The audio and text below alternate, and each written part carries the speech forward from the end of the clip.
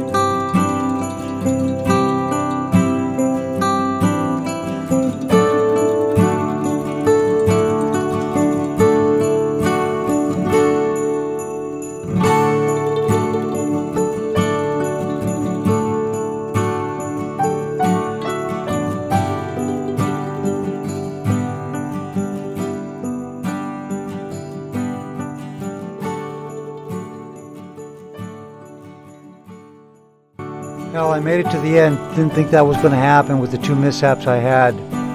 I had to change the shape of the vase twice. So the outcome is a odd shaped vase. But I like it. Came out real nice.